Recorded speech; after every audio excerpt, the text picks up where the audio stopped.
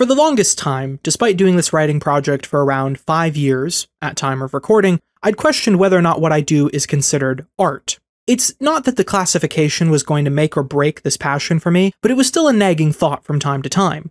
Being on hiatus for a few months gave me more time to reflect on what being an artist means and how some of our experiences are universal. Despite daydreaming and fantasizing a fair bit in my waking life during walks and empty moments, I'd pick on myself for never really taking up fiction writing, especially since that would make me a real artist. However, it was refreshing to talk with other artists and realize that the things I experience in the process of doing nonfiction writing are similar to what artists of other mediums go through. We have plenty of ideas, but the energy to express only so many of them. Lots of works in progress that sit stagnant and only sometimes get finished, and the persistent itch to retcon or tweak earlier works to meet our new level of skill. It is these shared experiences that help me acknowledge what I do as art and I, an artist. What stands out the most from these similarities to me is the difference between what's on our minds as artists and what we actually end up expressing. Art is expression, but it's impossible to express everything. This brings me to what I like to call the river and the shot glass problem. It's a metaphor that explains so well how immense things like information and emotion are, and how we have to be mindful of our limited capabilities of taking those things in and expressing them outwards. I was talking to a programmer one day, and she mentioned that you don't really master a programming language because that language is a river, and the human brain is a shot glass. That's where I got the metaphor for this video from. We may see it as a point of weakness or lack of experience for someone to ask questions about their code online, or get a second opinion on their writings from an expert, but this is how knowledge is supposed to work. Great man theory and toxic masculinity force us to believe that a knowledgeable person never says, I don't know, and always has a solid, objective answer.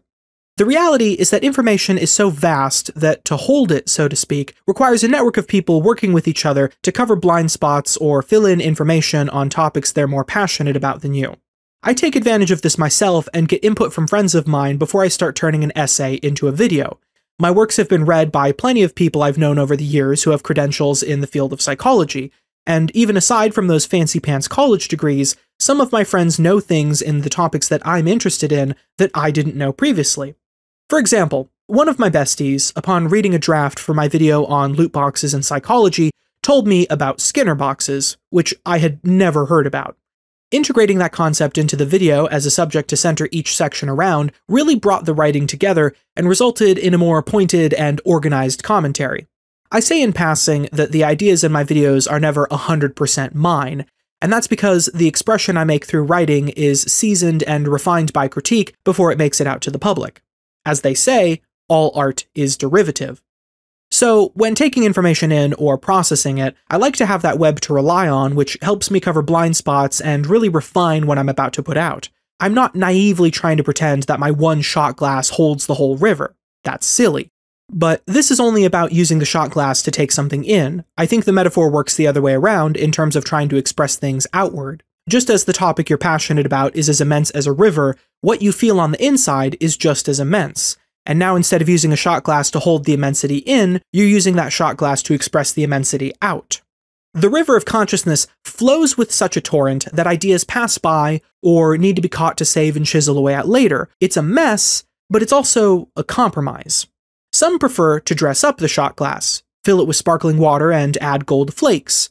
To them, the expression isn't about filling the glass to the very top, but instead making sure that it's something that sticks with you when you're done. Obviously, this results in a smaller portion of that river of consciousness being expressed. Philosophy channels that were on this end of expression confused me for the longest period of time. Their videos aren't massively substantive. They talk slower, rely a lot on editing, and tend to cover topics that the layperson has some familiarity with. Channels like School of Life, Exurbia, and Horses come to mind. I don't say this as an insult because I understand what they're doing now, and sometimes give myself a hard time for not dressing up the things I say a bit more, even though I'm just not capable of doing what they can on that front. Their videos are the ones you share with your friends who maybe just need some philosophy in a dark time, some guidance on their introspection, or a thought to chew on for a while. People need that toe dip to figure out if something deserves their passing glance or their full admiration. I'm sure there are plenty of people out there who got into STEM fields after watching Mythbusters or Brainiac as a kid, and I suppose the equivalent for philosophy are these sorts of avenues. Even if they decide not to dive in completely, some people prefer their relationship with philosophy to be more topical, which is also valid. There's no wrong way to enjoy a passion. Getting back to the spectrum of expression, the other side of it tends to have artists who are trying to cover the whole damn bar counter with shot glasses. Doesn't matter if they have to use the cheesy collector's ones in the back, or if some of them have a crack in it but still hold water. The amount of their videos that are profound enough to keep in your consciousness for years and circulate with others down the road is a lot less than those that really dress up the point. But they express much more of that stream of consciousness, and in doing so, cover a lot more ground. Louis Rossmann comes to mind with his frequent uploads and occasional videos with a deeper message. Again, I don't make these observations to be insulting. It takes a lot of energy and plenty of confidence to pump out thoughts that frequently without feeling self conscious about it. I suppose the comfortable recliners and adjustable mic arm help a fair bit. Looking at these two ends of expression, I have a feeling I land somewhere in the middle. I don't express things unfiltered. I take time to choose what words I want to use and how I use them. The actual content of the video, the writing, and the voiceover audio get plenty of love at the sacrifice of not doing any fancy editing or using background music to relish my talking. Basically, I'm not trying to line the bar table, nor am I sprinkling in gold flakes. I suppose that's what people enjoy about me. They're here because I'm not bombarding them, nor am I trying to dress up something smaller when they want more. Knowing my place in this grand scheme of things is pretty satisfying, because you really can't be on both ends of the spectrum at the same time. Some days I'd be upset with myself for not being the type of person to make the kind of video essay that leaves someone with a lot of emotions like Exurbia can. Other days I'd feel unaccomplished that I don't have the kind of output of people like Louis Rossmann, especially since I express a fuckload of thoughts in progress and philosophies in calls on my server or with close friends compared to what I'm actually capable of structuring and organizing into videos for my audience. What I've learned from this is that there's no real metric.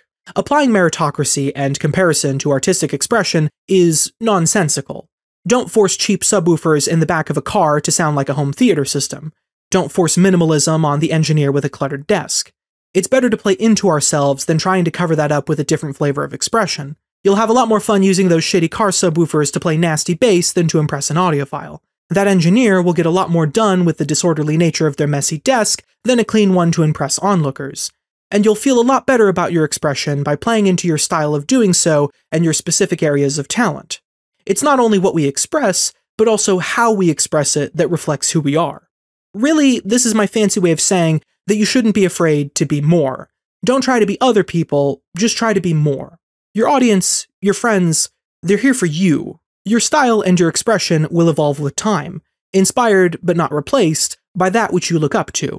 And you'll know you're doing right with this when you feel better about how well you express things now than before. And that's my conclusion after pontificating on the river and the shot glass.